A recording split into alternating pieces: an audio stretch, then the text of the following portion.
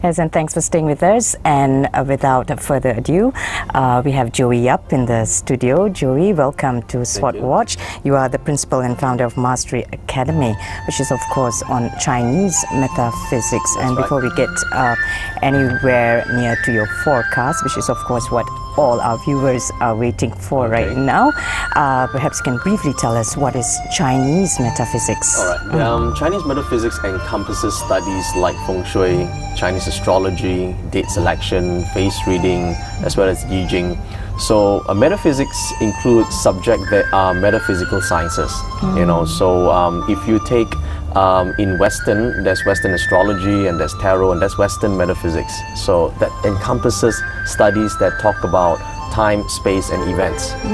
And I understand that you've been very interested in Chinese metaphysics since you were a kid. uh, That's right. And uh, what got you hooked onto this? Actually, uh, it's a strange uh, thing that, um, that I don't have a special event that took place, you know, some major thing that happened that caused me to have interest.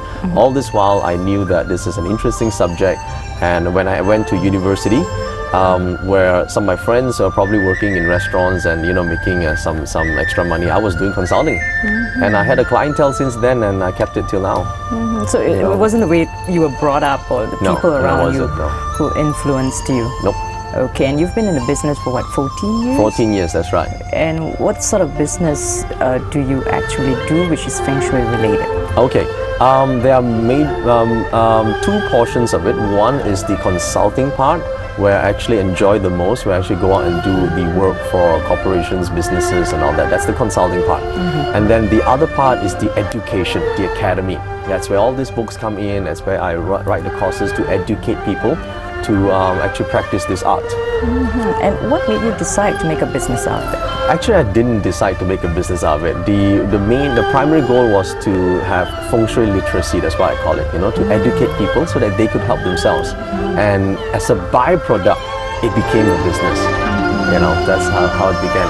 And it's still that's the, still the goal. You know. Yeah, but perhaps uh, if you want to educate people out Mm. there, perhaps you can share with us some of the myths of feng shui. Mm. Like, are ornaments important? For example, do you have to buy certain things, put them in your house, or even the way you position your you know, That's furniture? excellent question. In fact, that's the first thing I educate people through my books that feng shui, um, it's not based on ornaments like everyone think it is.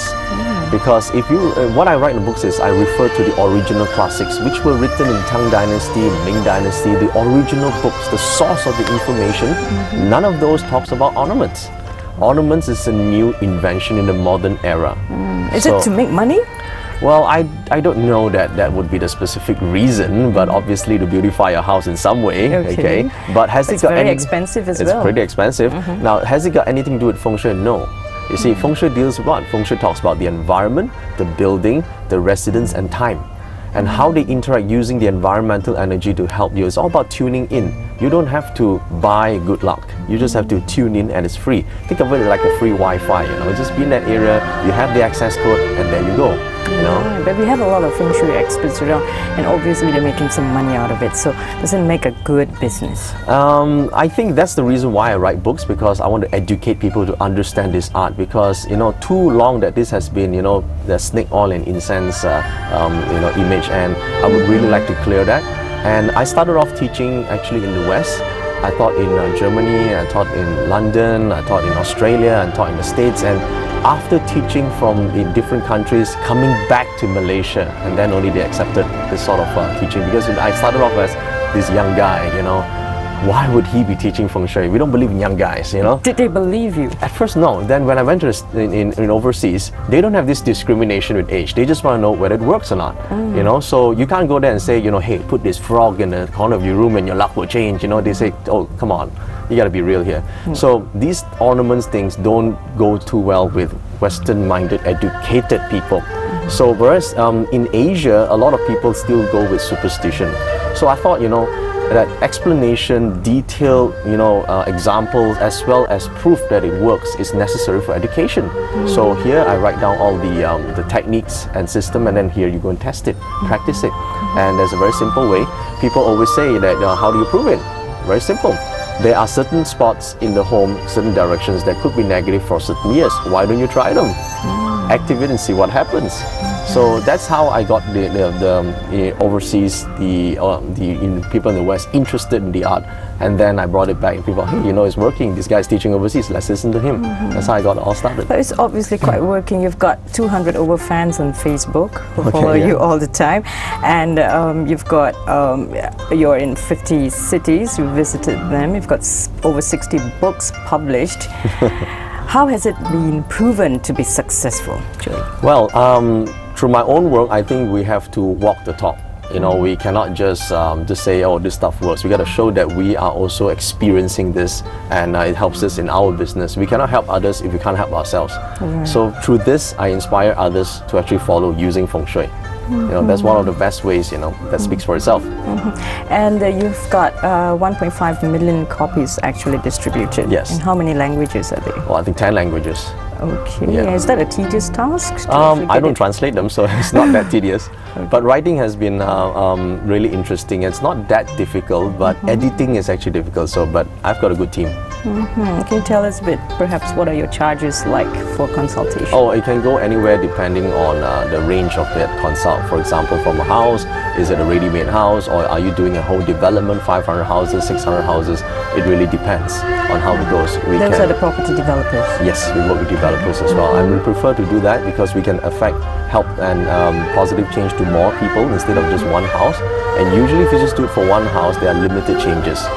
And we don't just deal with the house though, because there's another part of our consulting that does deals with astrology. Now, astrology, and many people think it's like, oh, let's look at our fate, you know. But that's not how it is. We are trying to create destiny. So when we help someone, we don't just help them by, you know, let's put something in the corner of your bed. You know, that's ridiculous. We help someone by understanding how the environment affects them. That's called external influences. And we also help them understand the internal influences, meaning who are you? What sort of person you are? What sort of profile do you have? And your personality, what is it like? Is your personality an asset or is it a liability? Which part of it is an asset? Find out and then exercise the best part, your strengths, and maximize it. And that's how you make improvements. So obviously you have a scientific explanation to everything that you. Um, uh, we don't have a laboratory sort of scientific explanation because it's still metaphysics, but we do have statistics that show if you do this, this is the outcome. And coming to your um, consulting group, Mm-hmm. uh, do you attend to all your clients personally, or do you have? Uh, we have a group of people, yeah. A group of people, and uh, your clientele are they mostly from the business community? Yes, community, now mostly from business community, but we started off with from the um, housing, you know, um, homemakers uh, department. But then we, as, as soon as we develop, you know, we reach on to the business community, and now there are um, high levels of uh, um, corporations, even for entire uh, MNCs and all that. Mhm. and have you brought success to these companies? Yes, we do. All right, in dollars and cents. Mm-hmm. Great. Okay. Um, can you tell us about some of the books actually that you publish? Okay. Yeah. Um, there are different subjects, and I primarily started with feng shui as a subject, and then the um, the second subject would be um, Bazi astrology. That's a form of Chinese astrology, um, not the type that you hear about the twelve animal signs. though. that is basically for the Sunday comics. But the actual astrology basically has to exercise change for people. So that's the group of uh, the books we call it the Destiny Code. Okay, so basically understand your code and then find out what you can do to maximize your life. And then there's a range of books on face reading. Mm-hmm. Face reading is basically a reflection of personality. If we understand our personality, we can also control it to maximize our strengths. Okay, so that's face reading. There's also a set of books on selecting timing because, mm-hmm. as people say, timing is everything. So if we understand how time affects us, we can also time ourselves for success and that's about date selection. Okay, and then I have books on the uh, uh, the Yi Jing. It's actually a study of um, uh, philosophy come um, the science of probability, meaning at certain point in time, certain thoughts, certain decisions that you make can affect a great change in your life. So we want to study how that affect human beings. That's the study of the Yi Jing. Okay, unfortunately, we need to take a short commercial break. Okay. But of course, our next segment will tell you more and give you an insight into uh, Joey Yap's teachings and, of course, the knowledge that he has brought together for us who are very curious and also understand about Feng Shui. Stay with us right here, the Sword Watch.